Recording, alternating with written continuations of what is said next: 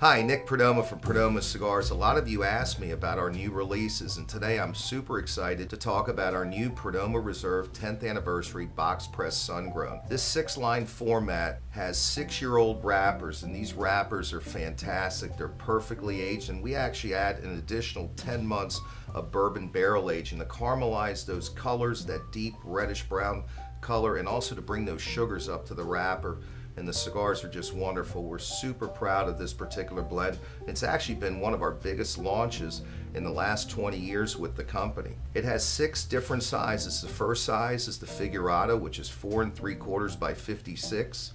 Then we have a beautiful Robusto, which is five by 54, an Epicure, which is six by 54, a Super Toro, six by 60 for guys who are looking for a little bit bigger ring gauge, a 7 by 54 Churchill, and we finish it off with an elegant, beautiful 7 by 54 Torpedo.